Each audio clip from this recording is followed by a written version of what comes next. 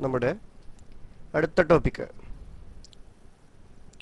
Display എന്ന് പറയുന്ന മെനുവിലെ കുറച്ച് ഓപ്ഷൻസ് ആണ്. അതിൽ ആദ്യം കാണുന്ന ഓപ്ഷൻ ഗ്രിഡ് ഇവിടെ ഈ കാണുന്ന ഗ്രിഡിന്റെ കസ്റ്റമൈസേഷനാണ്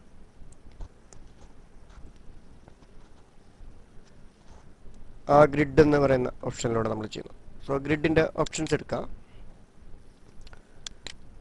റീസെറ്റ് ചെയ്തു. ഇവിടെ നോക്കുകയാണെങ്കിൽ length and width total length ഗ്രിഡിന്റെ total length നമ്മളിപ്പോൾ ഒരു ഫിഫ്റ്റീൻ ആക്കുന്നു. അപ്ലൈ ചെയ്ത് കഴിഞ്ഞാൽ ഗ്രിഡ് കുറച്ചുകൂടി എക്സ്പാൻഡ് ചെയ്തിട്ട് കാണാൻ സാധിക്കും. ഇനി grid lines every five units grid lines എത്ര യൂണിറ്റിൽ വരണമെന്നുള്ളത് ഇവിടെ നമ്മൾ പറയുകയാണ് സോ ഇവിടെ നമ്മളൊരു എയ്റ്റ് കൊടുത്തു. അതിൽ ഇവിടെ ഗ്രിഡിന്റെ മെയിൻ ആക്സിസിന്റെ കളർ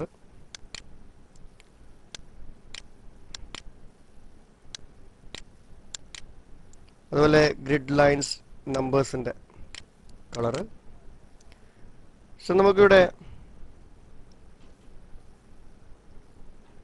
എത്ര division grid lines every five ആണ് കൊടുക്കുന്നതെങ്കിൽ എവറി ഫൈവിൽ നമുക്ക് ഗ്രിഡ് കാണാനായിട്ട് സാധിക്കും. എയ്റ്റ് ആണ് കൊടുക്കുന്നതെങ്കിൽ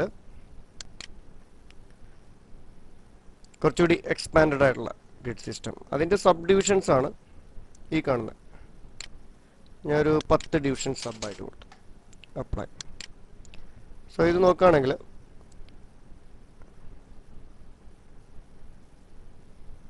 ഈ ഒരു മൈനർ ഗ്രിഡാണ് സബ് ഡിവിഷൻസിലൂടെ പറയുന്നത്. ഇവിടെ ഫൈവ് കൊടുക്കുക. നമുക്ക്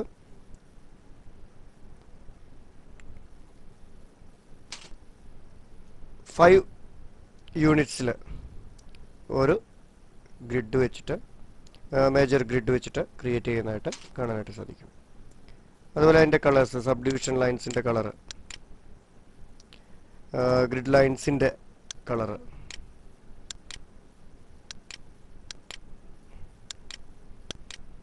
ഇവിടെ മാറുന്നതായിട്ട് നമുക്ക് കാണാം. സോ ഇവിടെ ശ്രദ്ധിക്കേണ്ട ഒരു കാര്യം. എഡിറ്റർ റീസെറ്റ് ചെയ്ത് കഴിഞ്ഞാൽ നമുക്ക് കളേഴ്സ് അല്ലാതെയുള്ള ഡയമെൻഷൻസ് ആണ് അത് മാറുന്നതായിട്ട് കാണിക്കുന്നത്. സോ നമുക്ക് ആക്സിസ് ബ്ലാക്ക് ലൈറ്റ് ഗ്രേ ഇതും ലൈറ്റ് ഗ്രേ അപ്ലൈ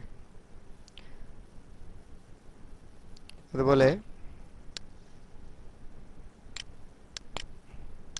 സെയിം വെച്ചാൽ കുഴപ്പമില്ല.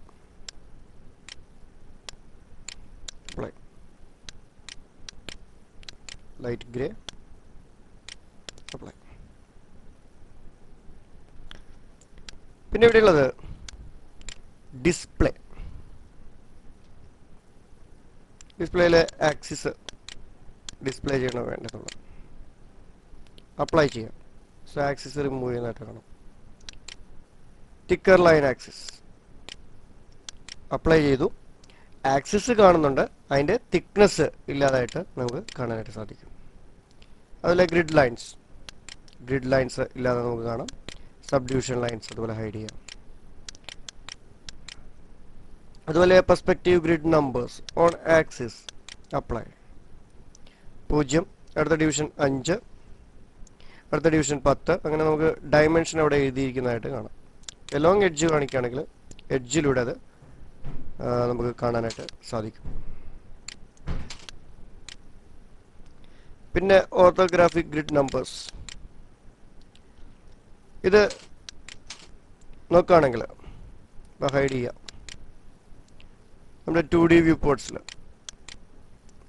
ആദ്യത്തെ പെർസ്പെക്റ്റീവ് ഗ്രിഡിന്റെയാണ് ഓർത്തോഗ്രാഫിക് ഗ്രിഡ് എന്ന് പറയുന്നത് ടു ഡി വ്യൂ പോർട്സിൽ നമുക്ക് ആ ഡയമെൻഷൻസ് കാണണമെന്നുണ്ടെങ്കിൽ കാണാനായിട്ട് സാധിക്കും.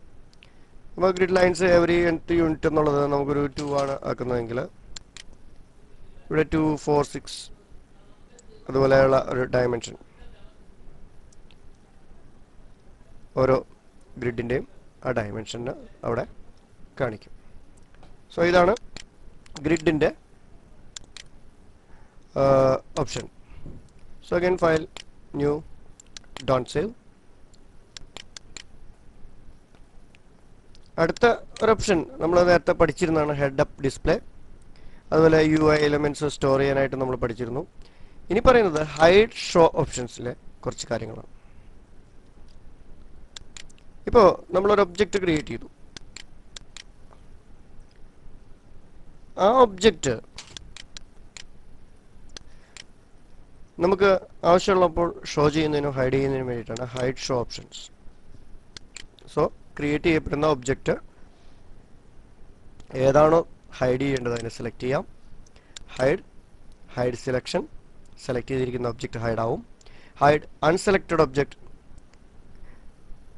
സെലക്ട് ചെയ്തിരിക്കുന്ന ഒബ്ജക്റ്റ് ഒഴികെയുള്ള മറ്റുള്ള ഒബ്ജക്ട്സ് അവിടെ നിന്ന് ഹൈഡ് ചെയ്യുന്നതായിട്ട് നമുക്ക് കാണാൻ സാധിക്കും. അതുപോലെ ഹൈഡ് അൺസെലക്റ്റഡ് സി വിസ് അത് സി വി കൺട്രോൾ വെർട്ടിസസ് നമുക്ക് ഹൈഡ് ചെയ്യുന്നതിന് വേണ്ടിയിട്ടാണ്. Hide hide unselected C Vs so hide all എല്ലാം ഹൈഡ് ചെയ്യുന്നു. അതിന്റെ നേരെ റിവേഴ്സാണ് show all all surface C Vs show last hidden show selection so നമ്മളിവിടെ ഔട്ട്ലൈനറിൽ നോക്കുകയാണെങ്കിൽ നമുക്ക് ആ നബ്സ്പിയർ ഇവിടെ നെയിം കാണാനായിട്ട് സാധിക്കും. സോ അവിടെ നിന്ന് നമുക്ക് വേണമെങ്കിൽ ഷോ ഷോ സെലക്ഷൻ അതിലൂടെ ആ ഒബ്ജക്റ്റ് വീണ്ടും ഷോ ചെയ്യാം. അല്ലെങ്കിൽ ഷോ ലാസ്റ്റ് ഹിഡൻ അവസാനമായിട്ട് ഹൈഡ് ചെയ്തിരിക്കുന്ന ഒബ്ജക്റ്റിനെ നമുക്ക് ഷോ ചെയ്യാനായിട്ട് സാധിക്കും. പിന്നെ എല്ലാ ഒബ്ജക്റ്റിനെയും ഷോ ചെയ്യാൻ സാധിക്കും. അതുപോലെ ഹൈഡ് ഹൈഡ് ജിയോമെട്രി ജിയോമെട്രി ഐറ്റംസിനെ നമുക്ക് ഹൈഡ് ചെയ്യാനായിട്ട് സാധിക്കും. ഹൈഡ് കൈനമാറ്റിക്സിനെ നമുക്ക് ഹൈഡ് ചെയ്യാനായിട്ട് സാധിക്കും. ഡെഫോമേഴ്സൻസ് അങ്ങനെ ഓൾമോസ്റ്റ് നമ്മൾ വർക്ക് ചെയ്യുന്ന എല്ലാ ഐറ്റത്തെയും നമുക്ക് ഹൈഡ് ചെയ്തിട്ട് അല്ലെങ്കിൽ ആവശ്യത്തിനുള്ള ഒബ്ജക്ട്സ് മാത്രം ഹൈഡ് ചെയ്തിട്ടോ അല്ലെങ്കിൽ എല്ലാ ഒബ്ജക്ട്സും ഹൈഡ് ചെയ്തിട്ട് പുതിയ ഒബ്ജക്റ്റ് ക്രിയേറ്റ് ചെയ്യണം. അങ്ങനെയൊക്കെ വളരെ ഫ്ലെക്സിബിൾ ആയിട്ട് നമുക്ക് വർക്ക് ചെയ്യാനുള്ള ഓപ്ഷനാണ് ഷോ ഹൈഡ് ഓപ്ഷൻ പിന്നെ കാണുന്നത് wire frame colour wire frame colour എന്ന് പറഞ്ഞു കഴിഞ്ഞാൽ നമ്മളിവിടെ ക്ലിക്ക് ചെയ്യുക വയർ ഫ്രെയിം കളർ നമുക്ക് കിട്ടി. അടുത്ത ഒരു കളർ സെലക്ട് ചെയ്തു. ഈ കളർ സെലക്ട് ചെയ്തു അപ്ലൈ സെലക്ട് ചെയ്തിരിക്കുന്ന ഒബ്ജക്റ്റ് വയർ ഫ്രെയിമിലായിരിക്കുമ്പോൾ ആ കളറായിരിക്കും ഡിസ്പ്ലേ ചെയ്യുന്നത്. പിന്നെ നമുക്ക് ഒബ്ജക്റ്റ് ഡിസ്പ്ലേയിൽ ടെംപ്ലേറ്റ് ആണ് ടെംപ്ലേറ്റ് ഇത് നമ്മൾ നേരത്തെ കണ്ടിരുന്നതാണ്. Display geometry. No geometry. ഇപ്പൊ ഇതിൽ ഒബ്ജക്റ്റ് ഡിസ്പ്ലേ ടെംപ്ലേറ്റ് അൺടെംപ്ലേറ്റ് നമ്മൾ നേരത്തെ കണ്ടിരുന്നു. പിന്നെയുള്ളത് ബൗണ്ടിങ് ബോക്സ് ബൗണ്ടിങ് ബോക്സ് എന്ന് പറയുന്നത് ആ ഒബ്ജക്റ്റ് ഒക്യുപ്പൈ ചെയ്യുന്ന അല്ലെങ്കിൽ യൂസ് ചെയ്യുന്ന സ്പേസ് കാണിക്കുന്ന ഒരു ബോക്സ് ആണത് ഉദ്ദേശിക്കുന്നത്. അതുപോലെ നോ ബൗണ്ടിങ് ബോക്സ് കൊടുത്തിട്ട് അത് നോർമലി ഉള്ള ഒബ്ജക്റ്റ് ആക്കാം. അതുപോലെ ഇവിടെ geometry no geometry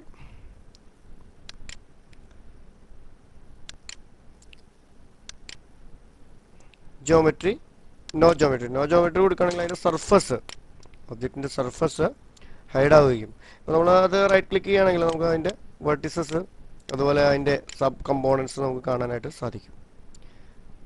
സോ ഒബ്ജക്റ്റിന്റെ ഡിസ്പ്ലേ കൺട്രോൾ ചെയ്യുന്നതാണ് ഈ കാണുന്ന ഓപ്ഷൻ